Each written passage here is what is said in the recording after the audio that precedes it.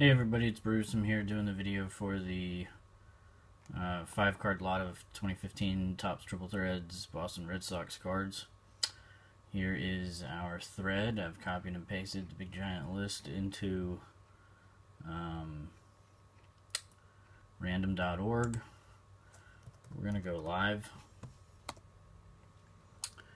Facebook says live at 3:58 and as you can see the US official time on the East Coast is 3:58. We're going to do a quick dice roll here. Says we got to go 5 times.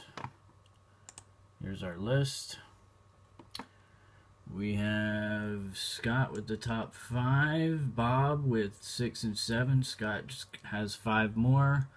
Andrew with the next three. DTR has the next five. Stevens in with 21 and 22.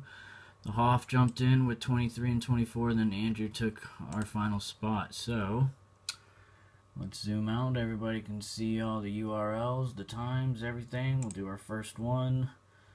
25 items on the list. The Hoff is uh, with spot number 24 is on the top. Go again for time number two with Andrew in the 15 spot on top. DTR with spot 18 on the top. That was number three.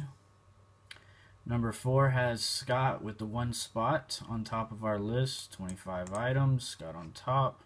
We've done four times. Our dice roller over here says we have to go five times, so we will now that it's four almost 4 p.m. There we go. We're going to do our fourth and final time. Good luck, everybody. And your winner is Bob in the sixth spot. Bob. I'll zoom in a little bit so you can see it. We've gone, we've got uh, 25 items. You can see Bob has number six. We went five times. Our continuous clock is accurate. Says we're done at four.